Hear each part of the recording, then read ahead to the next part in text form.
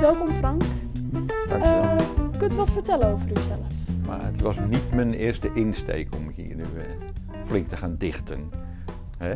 Dat is op een gegeven moment is dat ontstaan eh, toen we een Sinterklaasavond hadden met de familie. Dat was een beetje uitgesteld in verband met de corona. En toen had ik een gedicht geschreven voor mijn schoondochter. Best een lollig gedicht ook. En toen dacht ik zelf, hmm, nou, dat gaat eigenlijk wel. Nou, misschien moet ik daar wel wat meer mee gaan eh, experimenteren. Zo is het een beetje gegroeid. Ik denk een jaar of twee geleden eigenlijk. Daarnaast eh, gaf ik les, geschiedenisles. En eh, dat heb ik eh, 45 jaar gedaan.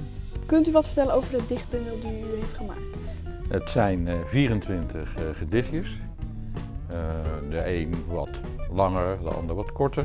Er zijn eigenlijk, denk ik, 23 van de 24 zijn wel humoristisch. Echt soms ook wel dat je denkt, wat een gekke vent eigenlijk die Sinterklaas. Hè? Eh, en eh, eentje is wat zwaarder. Het gaat over een meisje die eh, ernstig ziek is.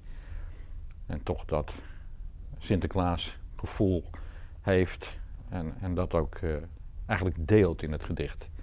En ehm, zou u een gedichtje willen voorlezen? Dat, eh, dat wil ik wel. Het was een heel speciale dag. Zo'n beetje midden mei. Veel mensen stonden langs de kant. Er kon geen kip meer bij. De badmeester zei lachend: Ik ben de zwembadbaas. Kinderen even stil zijn nu en staak je wild geraas. Nu gaan we naar het zwembad en lopen twee aan twee. Het was nog wel een beetje koud en Sint bibberde mee. We starten met droog zwemmen.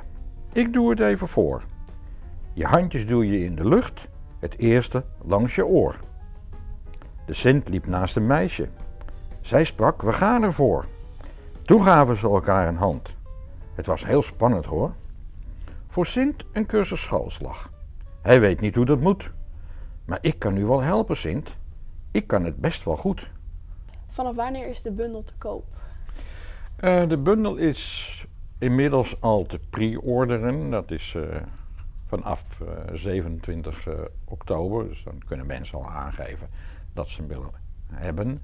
Eh, maar hij is officieel op de website eh, te verkrijgen van deze uitgever eh, vanaf 10 november.